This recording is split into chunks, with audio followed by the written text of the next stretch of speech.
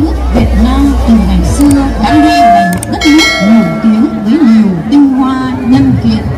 Với vị trí địa lý đặc thù, vùng đất Việt ấy ngay từ hoang sơ đã luôn là những nhắm đến của các thế lực hùng mạnh.